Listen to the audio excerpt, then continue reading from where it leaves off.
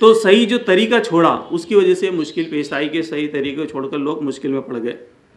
क्योंकि अगर सही तरीके पर होते तो सही तरीके पर और सही मनस पर अगर कोई होता है तो फिर अल्लाह उसकी मदद करता है। इसीलिए हम देखते हैं कि साहबा की मदद अल्लाह ने की।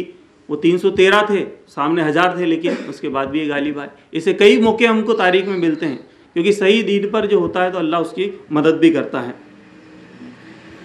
ये सुनन निसाई की रिवायत है, अल्लाह के रसूल वसल्लम फरमाते हदीस नंबर एक सौ चौरासी।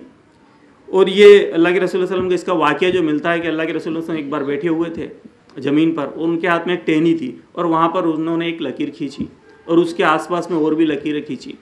तो साहबा ने वो देखा कि ये क्या मसला, क्योंकि अल्लाह के रसूल वसलम कोई भी काम बिला वजह नहीं करते, उसकी वजह होती है। तो साहबा ने पूछा, अल्लाह के रसूल, ये क्या आपने किया, ये क्या चीज़ आप बताई? तो अल्लाह के रसूल वसल्लम ने वहाँ पर बताया कि ये जो सीधी लकीर देख रहे हो, ये मेरा रास्ता है, और ये आसपास जो है ये सब शैतान बैठे हैं। तो ये तुमको भटका देंगे। तो ये मेरे तरीके पर तुम चलोगे तो ये मेरा सीधा रास्ता नहीं तो दूसरे तरीके पर जाओगे तो तुम भटक जाओगे।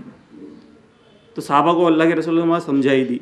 तो कुरान में भी अल्लाह ने कई जगह फरमाया सूर्य नाम में भी फरमाया कि जो दूसरों के रास्ते पर चलेगा तो फिर वो भटक जाएगा। तो हकीकत में रास्ता वो है। इसी तरह जो है सही तिरमिजी की रिवायत है। अल्लाह के रसूल वसल्लम ने फरमाया, हदीस नंबर तीन हज़ार नौ सौ बाणु और यहाँ फरमाया कि यहूदियों के इकहत्तर फ़िरके होंगे। और नसरानियों के बहत्तर फ़िरके होंगे और मुसलमानों के अंदर तिहत्तर फ़िरके होंगे। यानी कि तुम उनसे भी आगे निकल जाओगे फ़िरकेबाजी के अंदर। वो तो पीछे रह गए, जबकि अल्लाह ने तो यहूदियों को लानत भी की, लेकिन वो भी इकहत्तर पर रह गए। नसरानी बहत्तर पे और मुसलमान उससे भी आगे चले गए। यानी लानती कौम से भी आगे, यानी तिहत्तर में तुम चले जाओगे। तो साहबा ने फिर, क्योंकि साहबा के कि अब हम कहीं नहीं चले जाएँ इसके अंदर तो साहबा फ़ौरन सवाल किया करते थे कि फिर हम क्या करें? तो साहबा ने सवाल किया कि फिर वो कौन सा फ़िरका होगा, वो कौन सी चीज़ है, कौन सी जमात है जिसके साथ हम रहें? तो अल्लाह के रसूल वसल्लम ने फरमाया कि अलजमा कि जमात में रहना, जमात में रहना। तो अब क्या जमात से मुराद जो जमात बनाकर रहना ज़रूरी है, वही रहेगा? क्या यही बात है इसके अंदर? फिर जमात में जाना पड़ेगा किसी में हमको, जो सही तरीके वाली सदीस चले।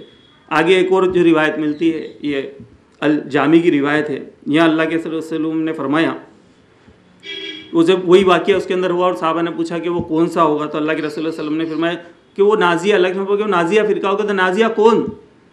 तो अल्लाह के रसूल वसल्लम ने फरमाया कि माना अलही व असाबी अलियम, कि जो, वो कौन सा होगा कि जो आज मैं हूँ और मेरे साहबा हैं, उनके तरीके पर होगा तो वो फिर के नाजिया होगा। तो यहाँ से भी हमको, यहाँ पर पूरा मिलता है कि कि मैं और मेरे साहबा तो यहाँ पर बताया तो तरीका इनका हमको लेना पड़ेगा। तो फिर हम वो फला पा सकते हैं कामयाबी हम पा सकते हैं।